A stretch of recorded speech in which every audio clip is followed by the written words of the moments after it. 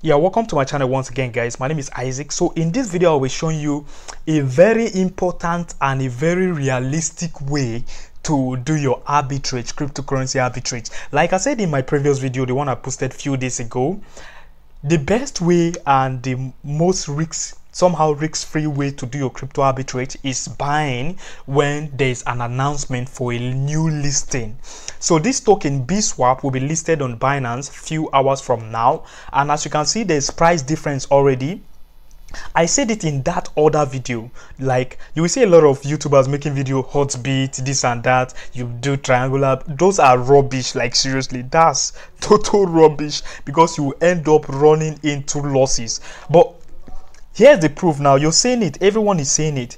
Here's the price difference. Can you imagine? Just because of the Binance listing, we have massive price difference already in several exchanges. In BSwap, the price is currently sitting at around 35 cents, while in MEXC, the price is sitting at 41 cents, while in LBank, the price is sitting at 35 cents, PancakeSwap 35 cents. When I posted this update on my Telegram channel, um, we just create this is a new telegram channel we created. As you can see i posted this update. The price wasn't even up to one percent then. As you can see 0.37 percent. And i told my members that the deposit for bswap is now open on binance.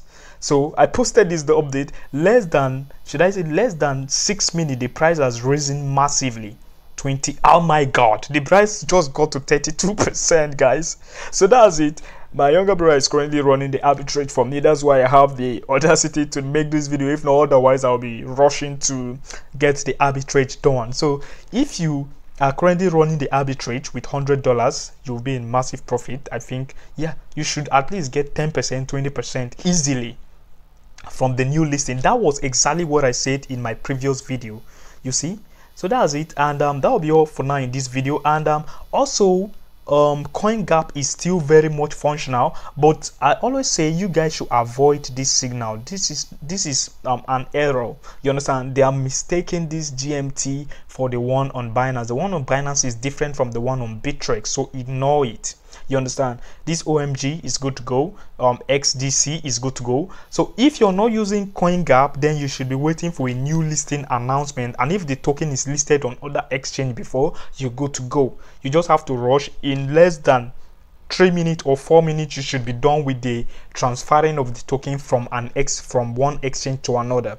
And congratulations you should be in profit. My name is isaac once again. In case you're new to my channel please consider subscribing to my channel before leaving. And also don't forget to um, give this video a thumbs up. Drop your questions or suggestions in the comment section below. As always peace out. Stay safe